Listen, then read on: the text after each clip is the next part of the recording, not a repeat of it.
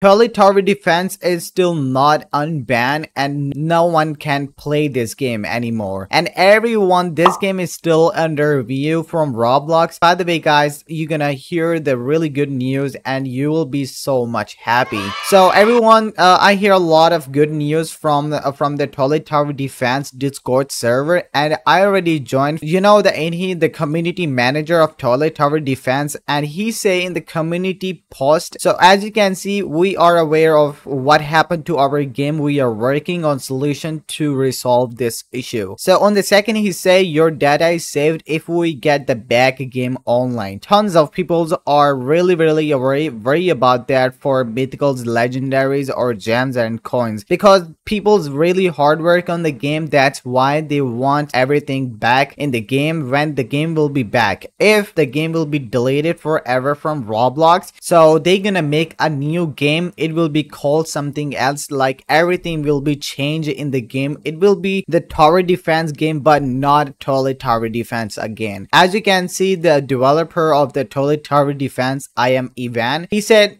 anyone saying the game is gone that is not true the game might still come back yeah i hear a lot of uh, news the game will be not back and that's all fake the game will be back because this is not a huge issue they are working hard for game should be coming back be uh, because developers work a lot on the game that's why so everyone make sure pray for the toilet tower defense it should be come back and make sure leave a like and subscribe and bye